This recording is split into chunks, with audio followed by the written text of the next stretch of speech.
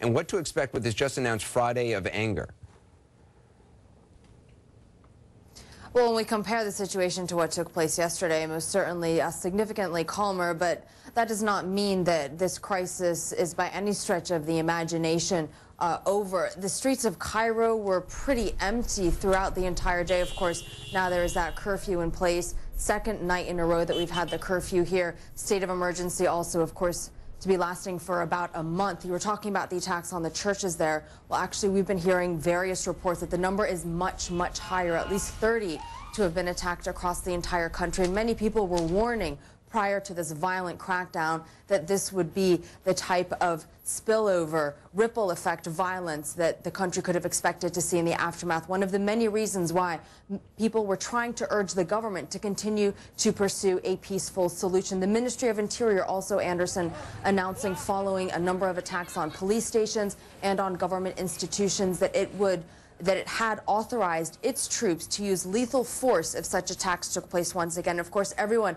very anxious about what tomorrow is going to bring, especially with those mass demonstrations being called for uh, by the Buz Muslim Brotherhood, those expected to take place after a noon prayers not too far from where we are right now, Anderson. Uh, Mona, you say you support neither the military nor the Muslim Brotherhood, but if you support neither, then, then who are you left with? And is that part of the problem right now, that there's, that there's basically these polarized sides in Egypt?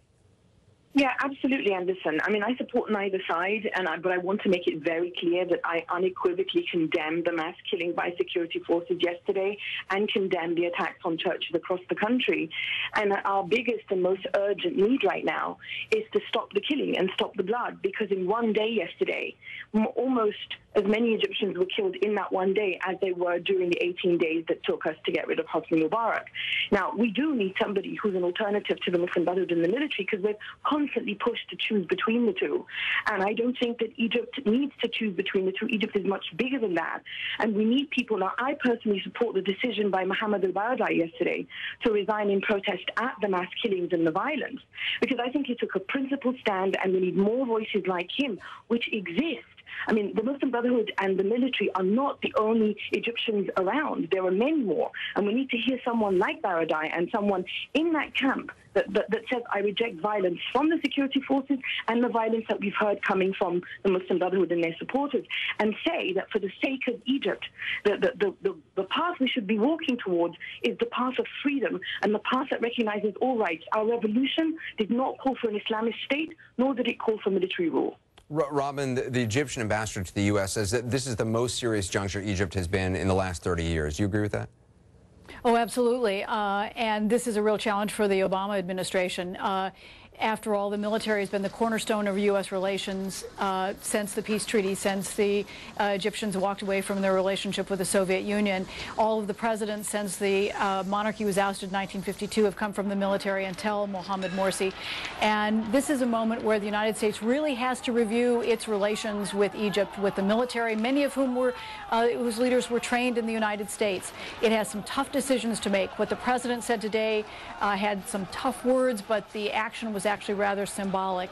Uh, there are tough questions about not just aid, but actually whether the United States has uh, enough influence to really make a difference because the military is basically kind of sticking it to Washington and has indicated it's prepared to take its own action irrespective of what its allies uh, or the international community has said in condemning the, what's happened in the last week. Uh, Ari, President Obama said today in part that the U.S. doesn't take sides with any particular party or political figure in Egypt. Uh, do you buy that? Well, that's the right thing to say, and we should not take sides. Uh, we have two bad sides to take a choice between. Um, but we did take sides previously. Remember, this is the president who said that President Mubarak must go. And so we, we have weighed into Egyptian affairs previously, just two years ago. Uh, and now we're the consequences, not of what we did, but what the Egyptians are going through or on ourselves and on all the world. I think this is like the French Revolution, Anderson. We're, we're, going to see this shift back and forth between one pole to the other pole.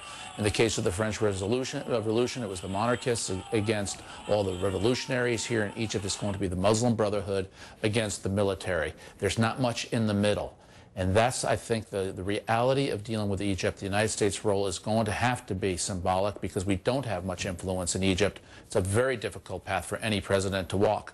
Uh, but at the end of the day, as much as we don't like the military, the last thing any of us should want, frankly, is for the Muslim Brotherhood as Americans to return to power in Egypt. Peter, Peter where do you, you know, stand? honestly, it's amazing to me how, how people like Ari, who who said during the Bush administration that the agenda was supposed to be democracy, uh, when Islamist parties that uh, win, all of a sudden say that they're, the most important thing is to prevent Islamist parties from winning. I don't think Morsi was a good leader. I don't. He wouldn't have been my first or second or third or fourth candidate. But the important principle here is that the United States does not rule out any political party from being able to run in elections. We simply st- support the principle of free elections, rule of law, and minority rights. And the Obama administration was played by the military, which made this big show of the idea that it would overthrow Morsi and bring a return back to democracy. Very rarely does that really happen with military coups. It didn't happen here, and we should have been much stronger oh, against Ari, it. I want you to be able to respond to that. Yeah, I agree with the principle he, that he laid out, but it's also important to note that the Muslim Brotherhood did not govern in anything close to a democratic fashion. And the And the risk in the? Arab Middle East is that people come to power through democracy or through coup, and then they become even worse. And that's what happened in Iran in the late 1970s. And that's not something we want to see happen in Egypt. That would not represent peace. It wouldn't represent stability. It wouldn't be good for anybody in the region.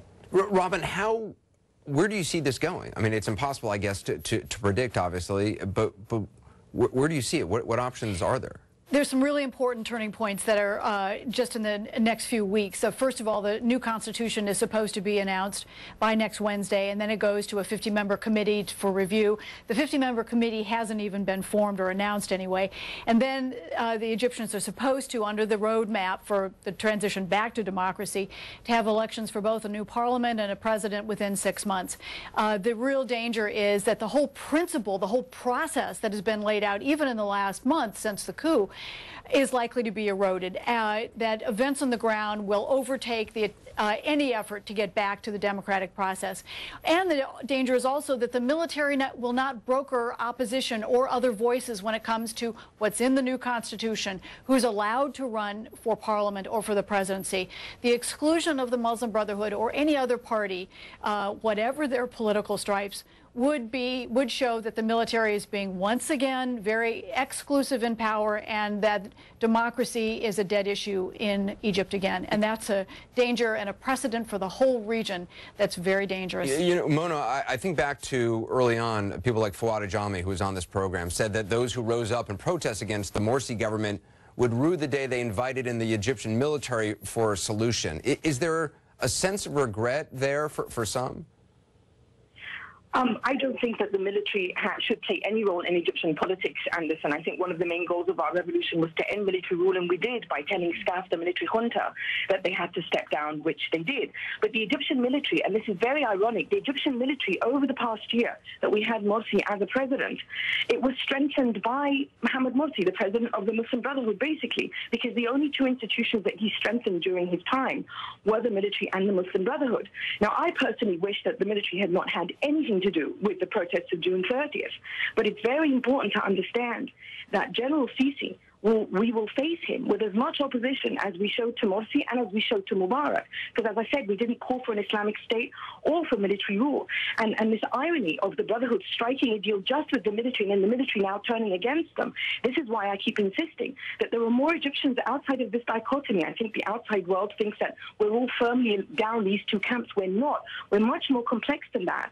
But, the, but rule of law and basic rights and human rights for everybody in Egypt. This is what we should be talking about, not choose between the military and choose between the Muslim Brotherhood. Now, Arwa, you were there in 2011 during during the, those uh, sort of heady days of, of the revolution that overthrew Mubarak. Just on a personal level, what is it like on the streets? What are you hearing from people? What, what, what, is, what is it like there, especially with this day of anger called for tomorrow? What to expect? There's a lot of tension, there's a lot of anger, there's a lot of uh, frustration, and there also is, and Anderson, you know, you and the other journalists who covered 2011 will remember it quite well, a lot of anti-journalist uh, sentiment, everybody quite angry at the press, especially uh, the foreign media, no matter which side of this current uh, crisis they are on.